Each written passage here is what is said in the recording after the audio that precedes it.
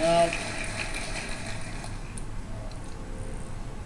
achievements of the men and women uh, who are on stage today stand as a testament to the ingenuity, to their zeal for discovery, and to the willingness to give of themselves and to sacrifice in order to expand the reach of human understanding. All of us have benefited from their work.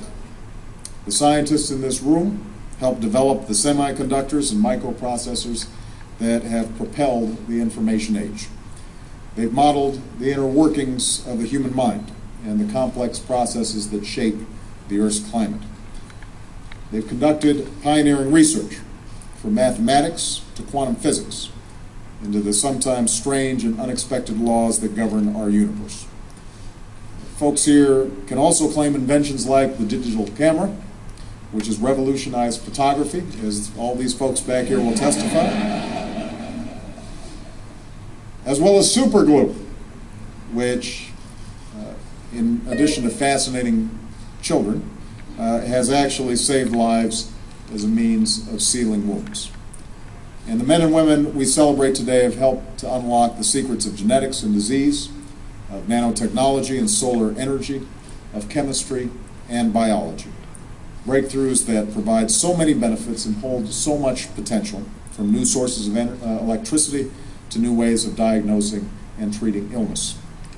Along the way, many of these folks have broken down barriers for women and minorities who've traditionally been underrepresented in scientific fields, but obviously are no less capable of contributing to the scientific enterprise. Uh, just as an example, at the start of her career decades ago, uh, Esther Conwell uh, was hired as an assistant engineer. Uh, but soon after, she was told that this position wasn't open to a woman. Uh, she had to serve as an engineer's assistant instead. Uh, of course, that didn't stop her from becoming a pioneer in semiconductors and materials science.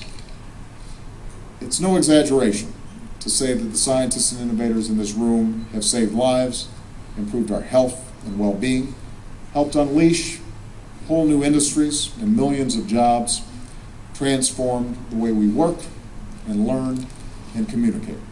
And this incredible contribution serves as proof not only of their incredible creativity and skill, but of the promise of science itself. Every day, in research laboratories and on proving grounds, in private labs and university campuses, men and women conduct the difficult, often frustrating work of discovery. It isn't easy. It may take years to prove a hypothesis correct, or decades to learn that it isn't correct. Often the competition can be fierce, whether in designing a product or securing a grant. And rarely do those who give their all to this pursuit receive the attention or the acclaim they deserve. Yet, it is in these labs, often late at night, often fueled by a dangerous combination of coffee and obsession, that our future is being won. For in a global economy, the key to our prosperity will never be to compete by paying our workers less or building cheaper, lower quality products. That's not our advantage. The key to our success, as it has always been, will be to compete by developing new products, by generating new industries, by maintaining our role as the world's engine of scientific discovery and technological innovation. It's absolutely essential to our future. And that's why we're here today, and why I look forward to events like these. I believe one of the most important jobs that I have as president is to restore science to its rightful place. That means strengthening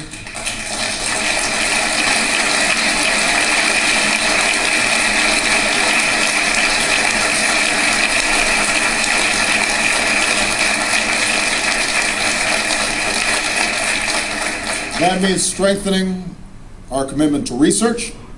It means ensuring that our government makes decisions based on the best evidence rather than politics.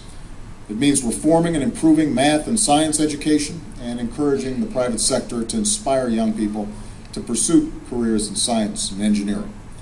And it means fostering a climate of innovation and entrepreneurship, from incentives and clean energy to tax breaks to startups. I'd also point out, that's not just a job for government. Creating this climate depends on all of us, including businesses and universities and nonprofits. One of the most important ways in which we can restore science to its rightful place is by celebrating the contributions of men and women like all of you. Because that's how we'll excite a new generation to follow in your footsteps. It's how we can spark the imagination of a young person who just might change the world. And I was reminded of how important this is just a few weeks ago. We held a science fair here at the White House. Some of you may have heard about it.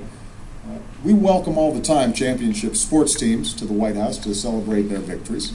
Uh, I thought we ought to do the same thing for the winners of science fairs and robotic contests and math competitions because uh, those young people often don't get the credit that they deserve.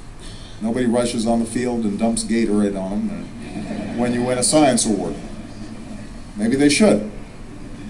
So I got to meet these incredibly talented and enthusiastic young men and women.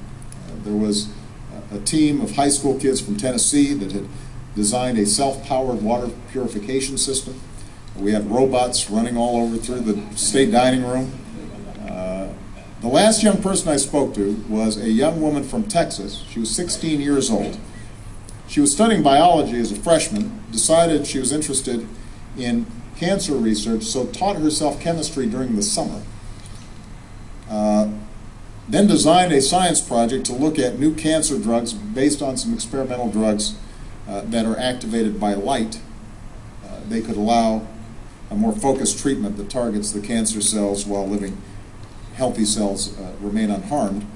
Uh, she goes on to design her own drug, wins the international science competition, uh, and she told me that she and her high school science teacher are being approached by laboratories across the country to collaborate on this potential new cancer treatment. This is a true story.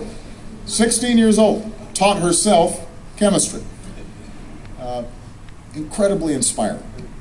And at a time of significant challenge in this country, at a moment when people are feeling so much hardship in their lives, uh, this has to give us hope for the future. It ought to remind us of the incredible potential of this country and its people as long as we unlock it. As long as we put resources into it and we celebrate it and we encourage it, we embrace it.